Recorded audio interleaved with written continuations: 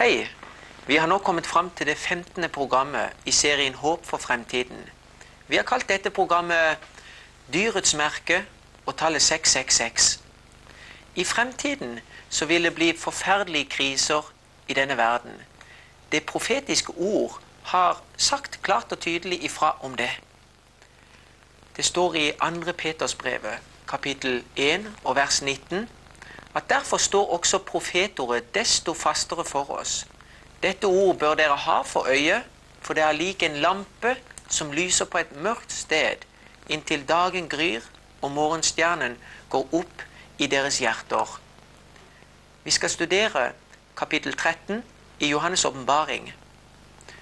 Dette er et mystisk kapittel, og det er i hjertet av Johannes' åpenbaring.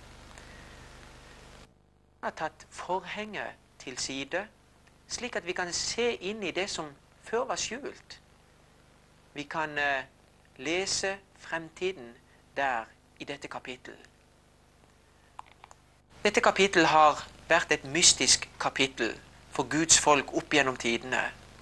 Men siden Martin Luther sine dager og frem til vår tid, så har mer og mer lys kommet frem i forskningen over dette kapittelet. Det handler om eh, to dyr som eh, går i tjeneste for Satan. De forfølger Guds folk. Det kommer til å bli en forferdelig kamp mellom godt og ondt i de siste dager. Kampen vil bli mellom løgn og sannhet. Guds folk de vil stå klippefast på Guds ord, mens Satan vil ha sitt folk som følger tradisjoner og lærdommer. Disse dyrene i Johannes' åpenbaring kapittel 13 de representerer riker eller verdensriker. Du husker når vi studerte Daniel kapittel 7, var det fire dyr som kom opp av havet. De fire dyrene de representerte fire verdensriker som skulle komme opp av folkehavet. De to dyrene i åpenbaring kapittel 13 representerer også verdensriker, men riker som eksisterer i den siste tid. Det er Satan som egentlig står bak disse rikene. I andre brevet til korintierne så skriver Paulus i kapittel 11, vers 14 og vers 15 Satan selv skaper seg om til en lysets engel. Derfor er det ikke noe stort om òg hans tjenere skaper seg om til rettferdighetstjenere. Ja, det vil bli et forferdelig bedrageri den siste tid. Satan, han vil søke med all mulig forførelse og lede menneskenes barn vill. Men takk og pris, så har vi et godt fundament å tro på. Vi har Guds ord. Og uten at vi står klippefast på Guds ord, så vil vi bli ledet vill i den siste tid. Hvem eh, mente reformatorene at denne antikristen skulle være? Dette dyret i åpenbaring kapittel 13 som kommer opp av havet, det er antikristen. Det er den samme makten som er beskrevet som et lite horn i Daniels bok kapittel 7. De fleste av reformatorene de mente at denne antikristen det må være pavemakten. De så de tegnene som Bibelen angir på antikristen, som eh, oppfylt i pavedømmet. Derfor gikk de modig ut og eh, hevdet at pavedømmet må, måtte være antikristen pga. Skriftens tegn.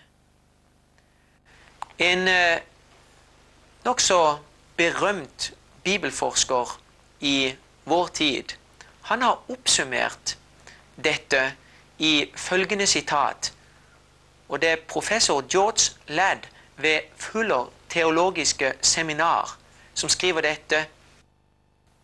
Mange av de kjente kristne fra reformasjonens tid og fra tiden etter reformasjonen delte dette syn på profetisk sannhet og identifiserte Antikrist med det romerske pavedømmet. Blant tilhengerne av denne fortolkning var valdenserne, husitterne, Wycliffe, Luther, Calvin, Zwingli, Melanchthon, den baptistiske teolog John Gill, martyrene Cranmer, Tyndale, Latimer og Ridley. Det var så vanlig på den tid å se på pavedømmet som antikrist at endog de små barna kunne vise det fra Bibelen. Noen tok endog doktorgrad på dette temaet. Og eh, han som er kalt King James, som eh, inspirerte denne King James-bibelversjonen fra, fra 1611, han eh, mente havemakten måtte være antikrist. Er det grunnlag for å påstå noe slikt? Ifølge Guds ord så er det flere kjennetegn på dette dyret som vi nå skal studere. I det 13. kapittel så står det klart og tydelig at dette dyret skulle få makt ifra Rom. Det står videre at dette dyret skulle spotte Gud ved store ord. Det skulle krige imot de hellige og få verdensomfattende innflytelse. Det skulle få lov til å ha en maktperiode på 1260 år. Og det skulle bli like som såret til døden. Dette dødsåret, det skulle leges, og det skulle kjennes på tallet 666.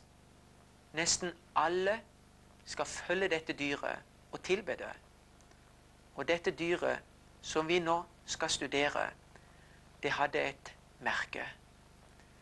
For at vi skal kunne gå ut og si at pavdømme er oppfyllelsen av disse ting, så må det virkelig oppfylle disse punkter. Og Vi skal derfor sjekke grundigere etter. I det andre verset i dette berømmelige kapittel i Johannes' åpenbaring så står det Og dyret som jeg så, var likt en leopard, og dets føtter som på en bjørn, og dets munn som en løvemunn, og dragen gav det sin kraft og sin trone og stor makt. Dette dyret, det fikk sin makt ifra dragen. Dragen, den møter vi på i det tolvte kapittel. Og i dette tolvte kapittel så står dragene Satan. Men Satan arbeider gjennom et spesielt system i det tolvte kapittel. Og det er det romerske verdensriket. For det var det romerske verdensriket som eh, sto bak forfølgelsen av Jesus. Det var under Romerrikets tid at Herodes søkte å drepe alle guttebarna i Betlehem.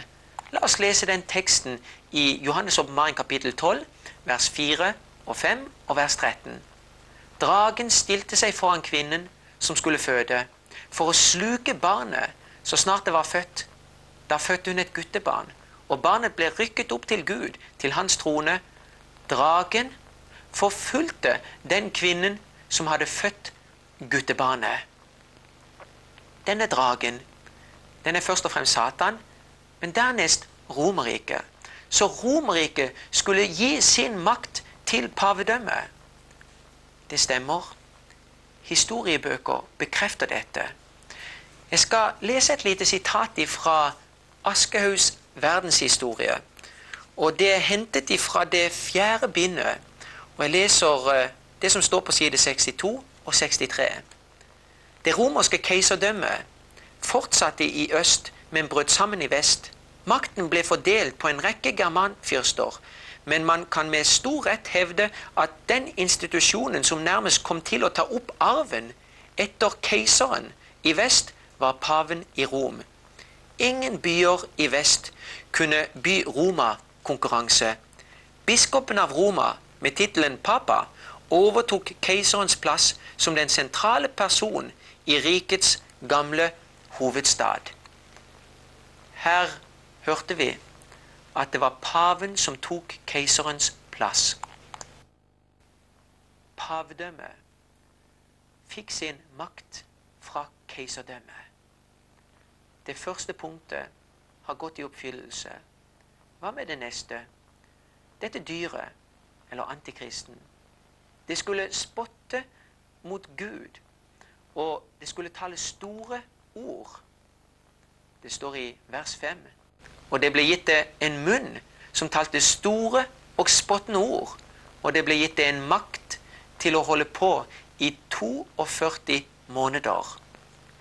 Ifølge denne teksten skulle dette dyret tale blasfemisk mot Gud.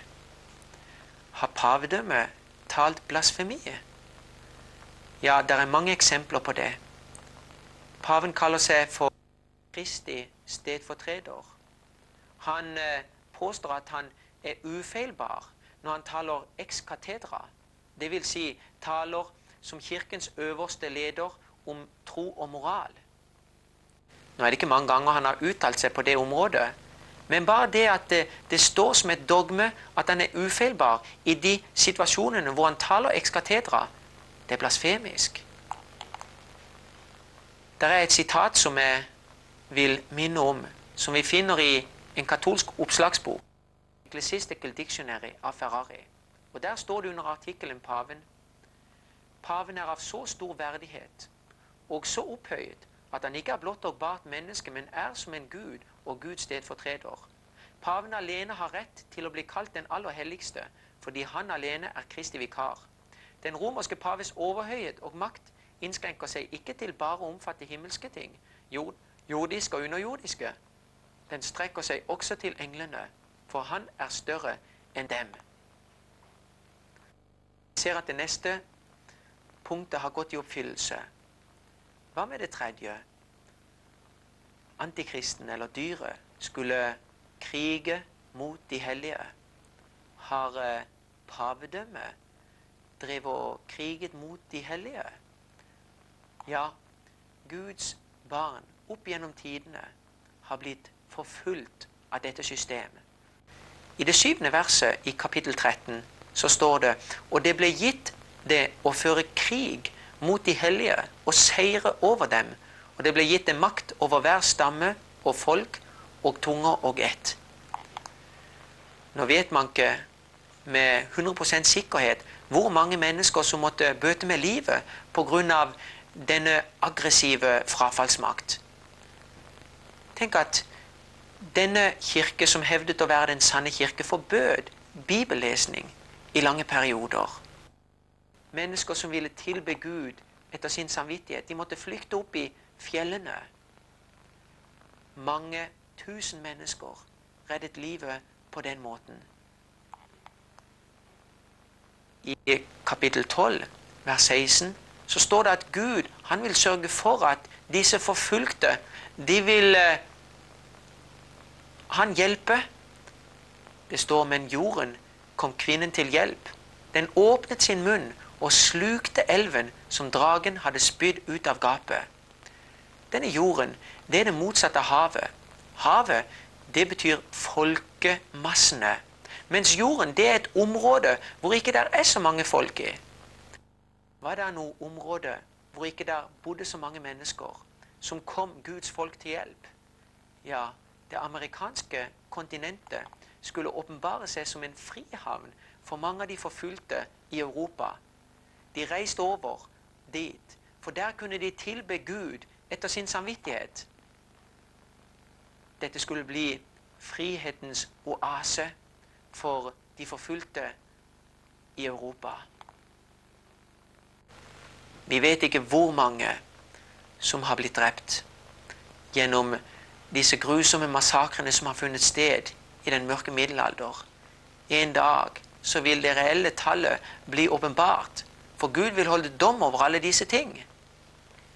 Men vi kan iallfall si at det er helt 100% sikkert at dette kirkelige system har forfulgt annerledestroende i århundrer. Det gjorde det ikke selv, men det fikk politivesenet eller militære til å gå sin tjeneste. Det var det samme med jødene, som egentlig var de som korsfestet Jesus, selv om det skjedde ved romerske hender. Det tredje punktet har gått i oppfyllelse. Hva med det fjerde? Dette systemet skulle få verdensomfattende innflytelse. Antikristen skulle få lov til å styre i hele verden. I Åpenbaringens bok kapittel 13 vers 7 så står det det fikk også lov til å føre krig mot de hellige og vinne over dem, og det fikk makt over hver stamme og hvert folk, hvert tungemål og hver nasjon. Det er ingen religion i dag som eh, er aktivisert og har et arbeid i så mange land som eh, den romersk-katolske kirke. Vi ser hvordan paven reiser fra det ene kontinent etter det andre. Og det er ingen som kan samle så mange mennesker som ham. Noen steder kommer det flere millioner mennesker for å høre ham og se ham. Og kanskje noen er så heldige å få lov til å ta på ham. Ja, det minner om avgudsdyrkelse, dette. Man ser på det som en dyd å være i kontakt med denne personen. Han er bare et dødelig menneske. Det er mange gode katolikker som kommer til Guds rike. Det skulle bare mangle. Jeg tror at det er flere sanne Guds barn i den katolske kirke enn det er sanne Guds barn i den protestantiske kirke, eller i den kirken som jeg selv tilhører. Ja, nå er det over én milliard katolikker i verden, så det skulle bare mangle. Paven, han eh, reiser fra seier til seier. Og han blir rost i verdens magasiner. Og han er muligens den mest populære mannen i denne verden. Personlig syns jeg det er forunderlig at ikke han allerede har fått Nobels fredspris. Men en dag så får han sikkert den også. Jeg har ingenting å utsette på denne Johannes Paulus den annen personlig.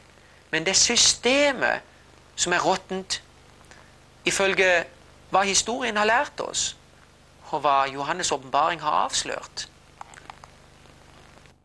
Det punkt fire og fem har gått i slående oppfyllelse. Vi skal nå se på dette punkt fem. Det fikk en maktperiode på 1260 år. Vi har så vidt vært innom dette en gang før. Det står i vers 5 og vers 6 i dette kapittelet vi studerer. Det ble gitt dyret en munn som kunne tale store og bespottelige ord. Og det fikk makt til å holde på i 42 måneder. Da åpnet det munnen for å spotte Gud. Denne tidsperioden på 42 måneder som antikristen skulle regjere, står beskrevet på tre forskjellige måter i Daniels bok og Johannes' åpenbaring. Som 42 måneder, slik som her, som tre og et halvt år, og som 1260 dager. Det er akkurat den samme tidsperioden det er snakk om. Det står benevnet syv ganger i disse to bøker. Det skulle indikere at det, er en viktig tidsperiode å kjenne til for Guds folk. Legg merke til at Jesus, hans eh, virksomhet som Messias, varte også i 42 måneder. Fra han ble døpt til han ble korsfestet. Disse 42 månedene her, de er symbolske. For én dag er det samme som ett år når vi studerer Daniel og Johannes' åpenbaring. Da blir det altså 1260 år totalt. Satan skulle gjennom sitt antikristelige system få lov til å få ett år for hver dag Jesus fikk Han skulle få ett år til å bryte ned det Jesus fikk en dag til å bygge opp. Ja, vi vet at den onde han brukte sin tid med ondskapsfull visdom. Like som Jesus brukte sine angitte dager med fullkommen kjærlig visdom. Hvis vi starter i 538, som er årstallet da pavedømmet blir en politisk maktfaktor, da dette dekretet som ble sendt fra keiseren i Konstantinopel, trår i kraft for østgoterne er nå støtt ut av byen Rom. Han kan trå frem som alle kristnes duelige refser. Hvis vi går 1260 år frem i tiden, så kommer vi til den franske revolusjonen, eller så kommer vi til kjølevannet av den franske revolusjonen. For Berthier, den franske general, inntar nå Rom by med sin lille armé og tar paven til fange. Paven dør i utlendighet en stund etterpå. Men den lærde klasse i Europa mente at dette var dødsstøtet for pavedømmet. Aldri mer skulle pavemakten reise seg som noen trussel mot friheten. Ja, dette fant sted i 98, nøyaktig 1260 år etter at dette dekretet fra keiseren i Konstantinopel trår i kraft, som angir at nå skal paven være den øverste myndighet i Rom. Forunderlig hvordan denne tidsprofetien har gått i slående oppfyllelse. Vi eh, leser her vers 3 i dette berømte kapittel 13. Og jeg så ett av dets hoder ligge som såret til døden, og dets dødsår ble lekt, og all jorden undret seg og fulgte efter dyret. Ikke bare skulle pavedømmet få et dødsår, men det skulle også komme til liv igjen senere. Ja, det har gått i oppfyllelse. Pavedømmet fikk dette dødsåret. Det ble like som såret til døden. Og vi skal nå se at dette dødsåret, det skulle bli delvis leget, som det står i punkt 7. I uh, det tredje verset står det et av dyrets hoder så ut som om det hadde fått banesår, men det dødelige såret ble legt, og all verden undret seg over dyret og fulgte det. Ja, hvordan i all verden kunne dette såret bli lekt? Vi må vel nevne at det er først lekt når pavedømmet kommer tilbake til den myndighet og makt som det hadde gjennom den mørke middelalder. Men på en måte så kan vi si at det har blitt delvis lekt. For uh, etter at pavedømmet fikk dette ydmyke dødsåret, så kom det til kreftene igjen på 1920-tallet, da Vatikanet gjorde en avtale med Mussolini, herskeren i Italia. Forresten så er det et faktum at pavedømmet har alliert seg med fascistiske krefter. Det allierte seg i den andre verdenskrig med Adolf Hitler. Det allierte seg med Mussolini. Det allierte seg med fascisten Franco i Spania. Fascisme og katolisisme går som hånd i hanske. Pavedømmet gjorde en fordelaktig avtale med Mussolini som gjorde at de kunne få sitt eget geografiske område der i Rom. De skulle også få et visst beløp av den italienske stat. Dødsåret ble delvis lekt. Og vi har sett hvordan paven nå går fra seier til seier. Hvordan den katolske tro sprer sin innflytelse i mange, mange forskjellige land. Vi vet at i Det hvite huset er det veldig med katolsk innflytelse. Tyskland er blitt et mer og mer katolsk land. En gang så var det et protestantisk land. Ja, katolisismen sprer seg som en tåke over hele verden. Snart vil det siste slaget stå. Vi ser at det syvende punktet har gått i oppfyllelse. Dødsåret. Det leges. Dette dyret skulle også kjennes på tallet 666. Det er mange spekulasjoner rundt dette tallet 666. Og hvis vi bare hadde dette ene beviset, så hadde vi ikke nok bevis for å gå ut med disse alvorlige anklagene.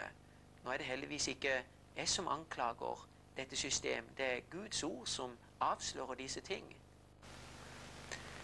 Hvis vi leser der i vers 18, så står det Her er visdommen. Den som har forstand, han regner ut dyrets tall, for det er et menneskes tall, og dets tall er 666. Legg merke til at det trengs visdom for å kunne regne seg fram til dette tallet. Det skulle være et menneskes tall, og tallet skulle være 666. Det pavelige system benytter seg ofte av latin.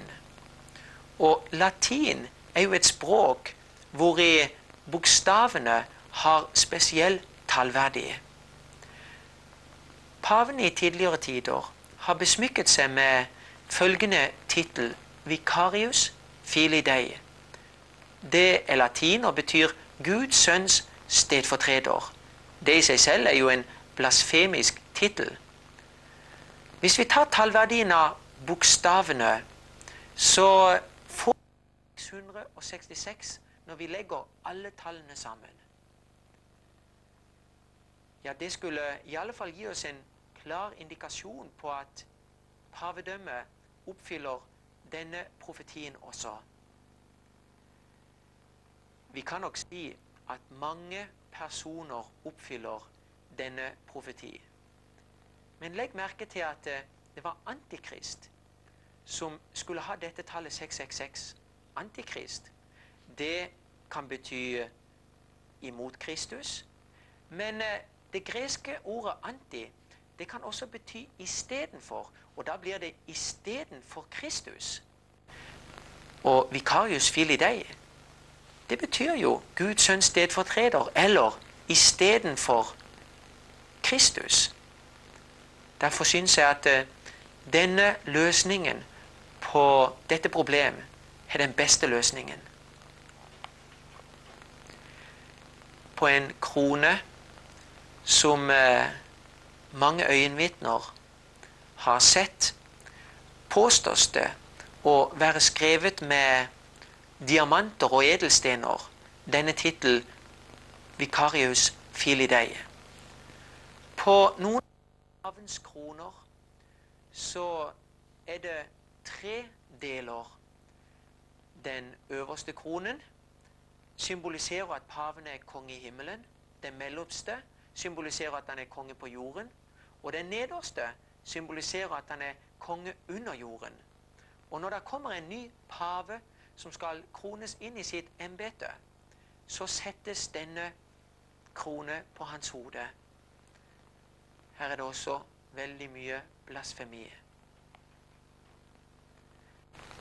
Ifra en katolsk kilde, Our Sunday Visitor, den 18. 1915 latinske for Guds. Bokstavene som er innskrevet i pavens bispehue, er vicarius filidei, hvilket er det latinske for Guds sønns vikar. Hva med det niende? Her får vi det bekreftet fra deres egne kilder. Det åttende punktet har gått i oppfyllelse. Hva med det niende punktet? Nesten alle følger og tilber dette dyret. Gjennom den mørke middelalder hadde enkelte paver så stor makt og innflytelse at de kunne sette og avsette konger etter sitt eget forgodtbefinnende. De fikk et dødsår der i 1798.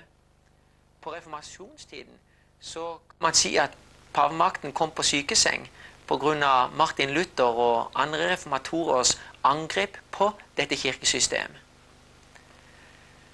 Den innflytelsen som vil bli verdensomfattende, den vil nå sitt klimaks i fremtiden. Vi kan se hvordan det bygger seg opp til at uh, denne personen kommer tiste dager. Som en slags, om ikke det blir den nåværende pave, Johannes Paulus den annen, så blir det en av hans etterfølgere.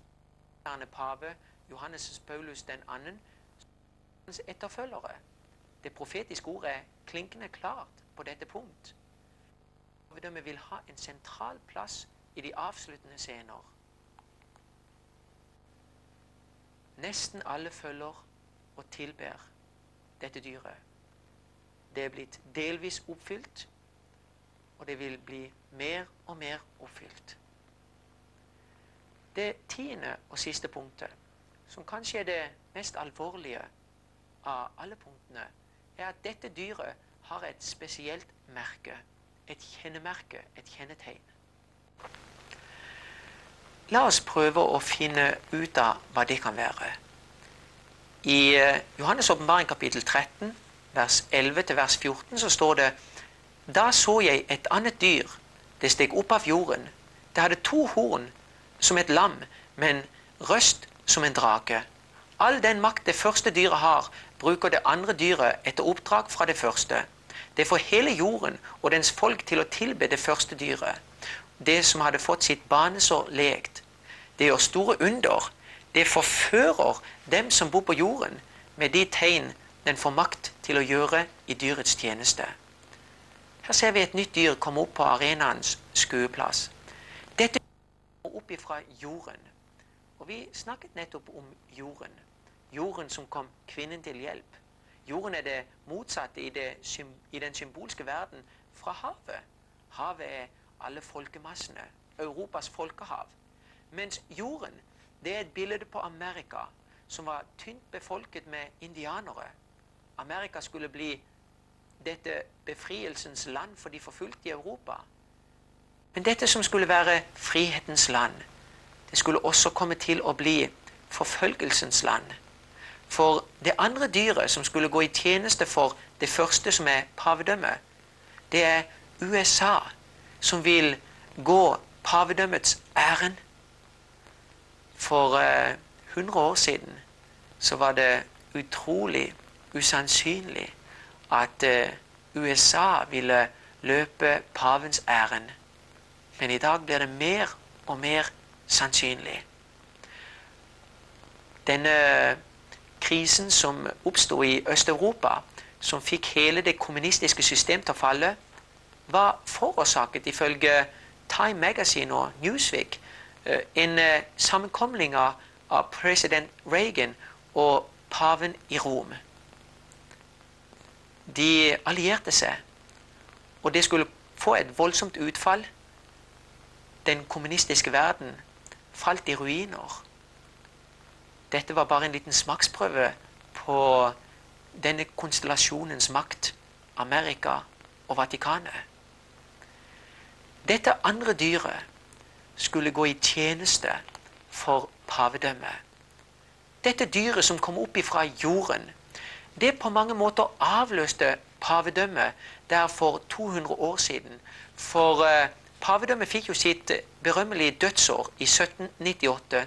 Og rundt den tiden så reiste Amerika seg opp som en maktfaktor. I dag så kan vi trygt si at Amerika er verdens politivesen. La oss lese det Amerika kommer til å gjøre.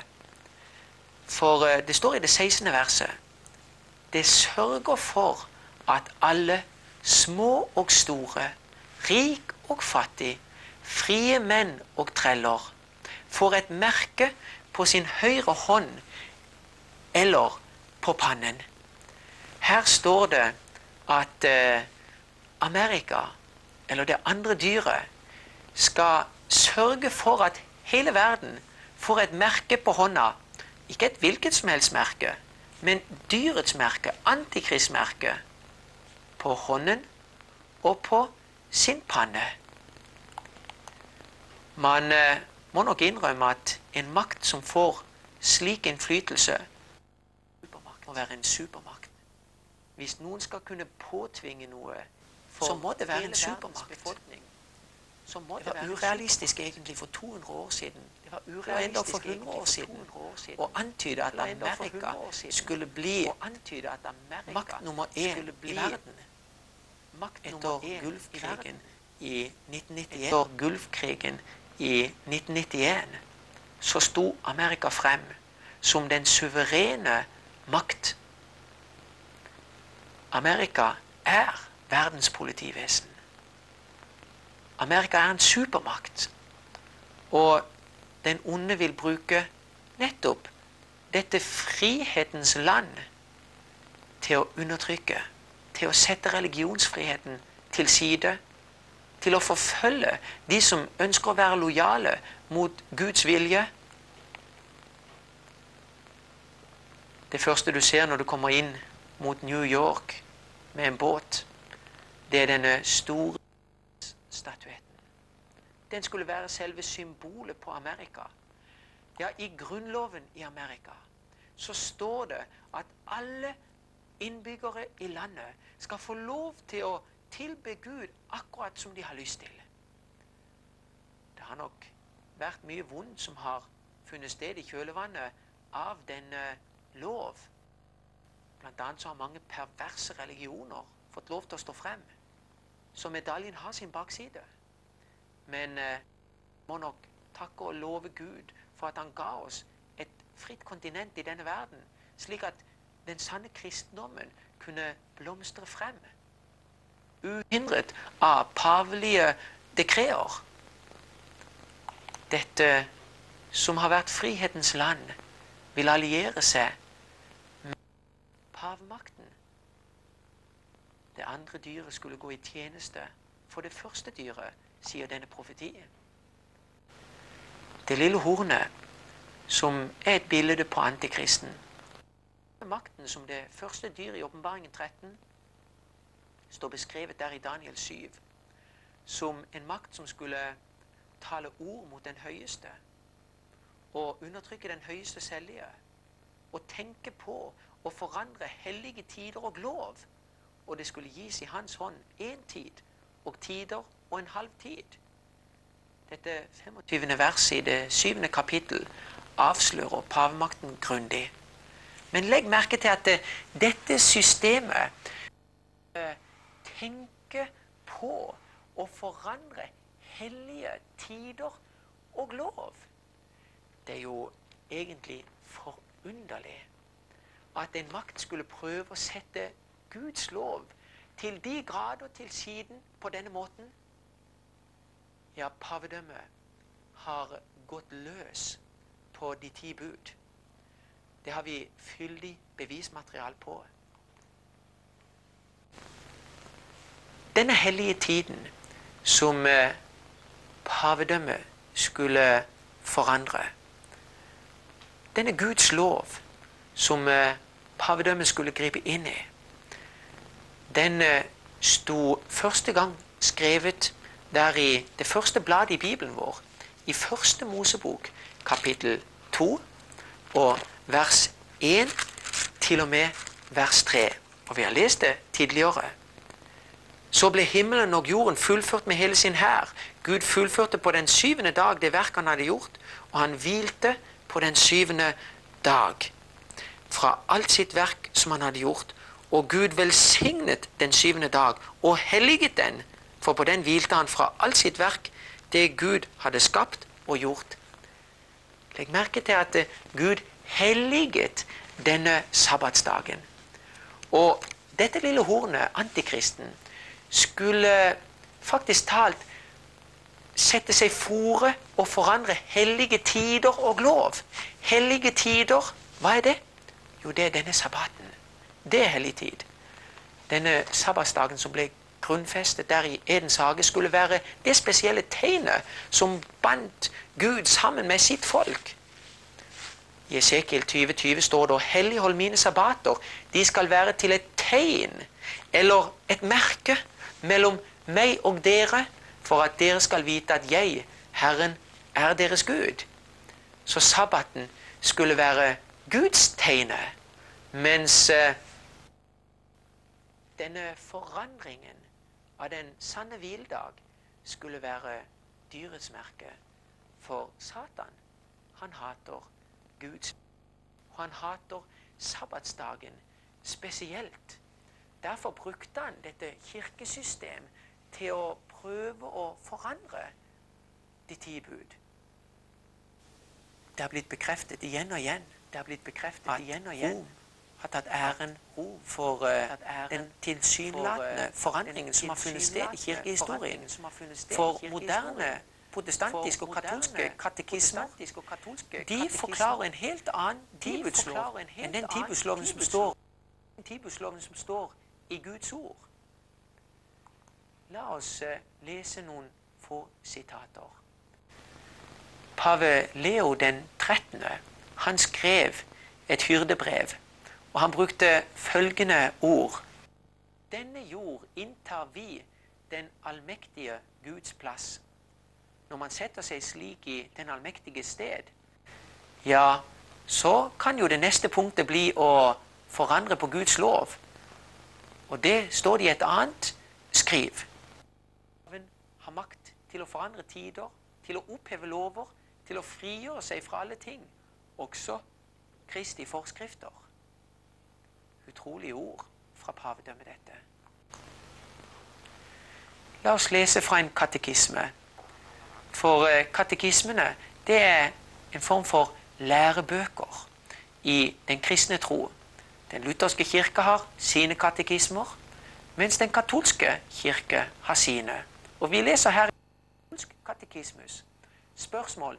Hvordan beviser dere at Kirken har makt til å påbyde høytider og helligdager? Svar. Ved den handling å forandre sabbaten til søndag, som protestantene tillater, og derfor motstrider de seg selv tåpelig ved å holde søndagen nøye og bryte de fleste andre høytider som den samme kirke, altså den katolske, påbyder. Spørsmål har dere noen annen måte å bevise Kirkens makt til å innstifte høytider og forskrifter? Svar hadde hun ikke hatt en slik makt, kunne hun ikke ha overført helligholdelsen av lørdag, den syvende dag i uken, til helligholdelsen av søndag, den første dag i uken. En forandring som det ikke er noen bibelsk grunnlag for. Dette står i den kristne eh, doktrinære katekismen på side 58. Det skulle jo være klart. Vi kunne bruke mange slike sitater. System har gått løs på Guds lov, har prøvd å forandre hviledagsbudet. I Bibelen så står det profetisk i 2. Tessalonikerbrev kapittel 2 vers 7-9 om at eh, et system skulle oppstå som skulle være lovløshetens hemmelighet. Og det var alt virksom, skriver Paulus her. Bare at den som nå holder igjen, ryddes av veien. Og da skal den lovløse åpenbares. Han som den Herre Jesus skal fortære med sin munns ånde og gjøre til intet ved åpenbarelsen av sitt komme. Og, han kom, og hans komme skjer etter Satans kraftige virksomhet med all løgnens makt og tegn og under. Pavmakten blir i denne teksten beskrevet som lovløshetens hemmelighet. Husker du dette dyrets merke som skulle plasseres på hånda og i pannen? Hvis vi går tilbake til 5. Mosebok, kapittel 6, og versene 6 til og med 8, så ser vi at Gud har et merke som han gjerne vil plassere på hånda og i panna til sitt folk. I det femte kapittel i 5. Mosebok er det snakk om de ti bud. Og I det sjette kapittel så får Moses en klar beskjed fra Gud om at disse ti bud skulle innprentes i alle jødiske barns sinn og alle deres etterkommere sin. La meg lese fra det sjette verset. Og du kan selv lage noen paralleller. Disse ord, altså de ti bud, som jeg byr deg i dag, skal du gjemme i ditt hjerte, og du skal innprente dem i dine barn. Du skal tale om dem når du sitter i ditt hus, når du går på veien, når du legger deg, og når du står opp. Du skal binde dem som et tegn på din hånd. De skal være som en minneseddel på din panne. Legg merke til at de ti bud skal være på hånda og i pannen. Ja, da er det ganske enkelt å resonnere seg fram til hva dyrets merke må være. Pavedømmet tar æren av å ha forandret de ti bud. De tar æren av å ha forandret hviledagen fra lørdag til søndag. De skriver i Catholic Record fra den 1. september 1923 Søndag er vårt autoritetsmerke. Kirken er over Bibelen. Overførselen av sabbatshelligholdelse er et bevis på dette faktum. Kan det bli klarere? Dyret, det har et merke, et spesielt kjennetegn. Det har satt seg over Bibelen. Det har satt seg i Guds sted. Og derfor må vi velge mellom Guds ord og menneskelig tradisjon. Vi må velge mellom Bibelens sabbat og tradisjonens søndag. Dette dyret i åpenbaringen 13 er pavmakten. Dyret er USA. USA, USA vil være visergud USA for vil pavmakten. være visergud for pavmakten. Påtvinge dyrets merke over hele verden. Påtvinge dyrets merke over hele verden. Har ikke denne tiden kommet enda. Så det er ingen i dag som har tatt dyrets merke. Men en dag så vil verden bli delt i to grupper. Disse to maktene vil en dag styre verden. Det profetiske ord er klar som krystall på dette punkt. Vi ser konturene allerede i dag. Han har lagt opp sin strategi. Han ønsker at hele verden skal lyde ham. Han ønsker at alle skal være ulydige mot Gud. Derfor påtvinger han dette dyrets merke. Derfor truer han de som ikke vil ta dyrets merke, med dødsstraff. Det blir tøft å være et Guds barn i den siste tid, men Jesus vil stå ved vår side. Allerede i dag er det mange religiøse krefter i USA som sier at søndag burde være en lovfestet dag i det amerikanske samfunn. Det er mange som arbeider for søndagslovgivelse. I den siste tid vil det bli en lov som vil spre seg til hele verden, men starte der i Amerika. Og da vil Gud se hvem som er på hans side. Han kan teste verdens befolkning, like som han testet Adam og Eva. Eva kunne velge om hun ville følge Gud eller dragens røst. Spise kunne spise trærne i hagen, i hagen, men bare ikke men det bare ene treet treet midt i hagen. midt i hagen, for da skulle hun dø. Skulle dø. Vi kan Vi kan gjøre all vår gjerning på seks dager i uken, men den syvende dag, det er en dag som vi skal være sammen med Jesus i. Det er klare paralleller. Vi må velge mellom Guds sønns stedfortreder, som han så blasfemisk kaller seg, og Jesus Kristus, som henger der på Golgata 3 for oss. Det totalt motsatte av paven. Jeg vil velge Jesus. Jesus, han sier der gjennom Matteus' inspirerte penn, kapittel 15, vers 9, de dyrker meg forgjeves, for det de lærer, er menneskebud. La oss gå bort fra menneskebud. Vi kan stole helt og fullt på Guds bud. Han har alt under kontroll. Sett din lit til ham. I den tiden vi går i møte, Jesus vil være en kjær frelser for sine barn i den siste tid. Han vil beskytte oss. Ja, selv gjennom den tid da de syv siste plager skal ramme denne verden. Det vil være et gosen for Guds folk. Velg å stå på den riktige siden. Skal vi be. Kjære Far i himmelen. I Jesu navnet så takker jeg deg for det profetiske ord. Jeg takker deg for Den hellige ånd, som forklarer disse mysterier. Jeg takker deg for at vi kan ha håp for fremtiden. For du vil beskytte ditt folk. Og far, vi ønsker å være blant ditt folk. Vi ønsker å hvile under dine beskyttende vinger. Vær du med oss. Det ber vi deg inderlig om. I Jesu Kristi dyrebare navn. Amen.